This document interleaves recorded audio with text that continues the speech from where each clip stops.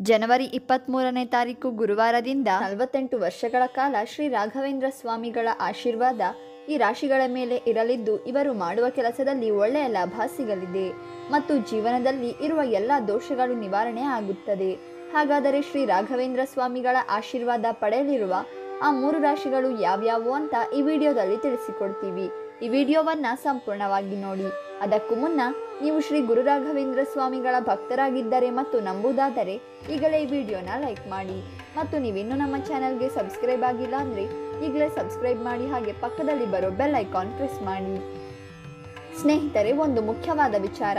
ನಿಮ್ಮ ಜೀವನದಲ್ಲಿ ಏನಾದರೂ ಸಮಸ್ಯೆ ಇದ್ದರೆ ಉದ್ಯೋಗ, ಆರೋಗ್ಯ, ವಿದ್ಯೆ, ಹಣಕಾಸಿನ ಸಮಸ್ಯೆ ಮನೆಯಲ್ಲಿ ನೆಮ್ಮದಿ ಇಲ್ಲ, ವ್ಯಾಪಾರದಲ್ಲಿ ಅಭಿವೃದ್ಧಿ, ಪ್ರೇಮ ವಿಚಾರ, ಗಂಡ ಹೆಂಡತಿ ಜಗಳ, ಹೀಗೆ ಏನೇ ಸಮಸ್ಯೆ ಇದ್ದರೂ ಕೂಡ ಡಿಸ್ಪ್ಲೇ ಆಗುತ್ತಿರುವ ಗುರುಜಿ ನಂಬರ್ಗೆ ಕಾಲ್ ಮಾಡಿ ನಿಮ್ಮ ಸಮಸ್ಯೆಯನ್ನ ಬಗೆಹರಿಸಿಕೊಳ್ಳಿ.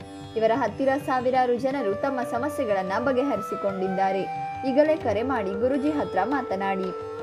ಮೊದಲಿಗೆ ಧನು ರಾಶಿ ಈ ರಾಶಿಯವರು ದೇವರ ಭಕ್ತರು ಮತ್ತು ತುಂಬಾ ಮೃದು ಸ್ವಭಾವದವರು. ಈ ರಾಶಿಯವರು ಯಾವುದೇ ಕೆಲಸವನ್ನ ಮಾಡುವ ಮೊದಲು ರಾಯರ ಪೂಜೆ ಮಾಡಿ ಕೆಲಸವನ್ನ ಆರಂಭ ಮಾಡಿದರೆ ಆ ಕೆಲಸ ಕಾರ್ಯಗಳಲ್ಲಿ ಯಶಸ್ಸು ನಿಮ್ಮದಾಗುತ್ತದೆ. ಇಂದಿನಿಂದ ನೀವು ಪಟ್ಟ ಶ್ರಮಕ್ಕೆ ಫಲ ಸಿಗಲಿದ್ದು, ನೀವು ಅಂದುಕೊಂಡ ಜೀವನ ನಿಮಗೆ ಸಿಗಲಿದೆ. ಆದರೆ ಮಾಡುವ ಕೆಲಸದಲ್ಲಿ ನಿಷ್ಠೆ ಮತ್ತು ನಿಯತ್ತು ನಿಮ್ಮದಾಗಿರಬೇಕು. ಇನ್ನು ಎರಡನೆಯದಾಗಿ ಮಿಥುನ ರಾಶಿ. ಈ ರಾಶಿಯವರಿಗೆ ರಾಘವೇಂದ್ರ ಸ್ವಾಮಿಗಳ ಕೃಪೆಯಿಂದ ಜಾತಕದಲ್ಲಿ ಇರುವ ಎಲ್ಲ ದೋಷಗಳು ನಿವಾರಣೆ ಆಗುತ್ತದೆ. ಸುಖಕರ ಜೀವನ ನಿಮ್ಮದಾಗುತ್ತದೆ. ಇನ್ನು ಈ ರಾಶಿಯವರು ರಾಘವೇಂದ್ರ ಸ್ವಾಮಿಗಳಿಗೆ ಪೂಜೆ ಸಲ್ಲಿಸಿದರೆ ನಿಮಗೆ ಪುಣ್ಯ ಸಿಗುತ್ತದೆ. ವಿವಿಧ ಮೂಲಗಳಿಂದ ಆದಾಯ ಬರಲಿದ್ದು ಬಂದ ಆದಾಯವನ್ನ ಅನಾವಶ್ಯಕವಾಗಿ ಖರ್ಚು ಮಾಡಬೇಡಿ. ಮೂರನೆಯದಾಗಿ ಕರ್ಕಾಟಕ ರಾಶಿ. ಈ ರಾಶಿಯವರು ಮುಂದಿನ ದಿನಗಳಲ್ಲಿ ಸಮಾಜದಲ್ಲಿ ಒಳ್ಳೆಯ ಉನ್ನತ ಸ್ಥಾನಮಾನ ಸಿಗಲಿದ್ದು ಜನರು ನಿಮ್ಮನ್ನ ಹಾಡಿ ಹೊಗಳಲಿದ್ದಾರೆ.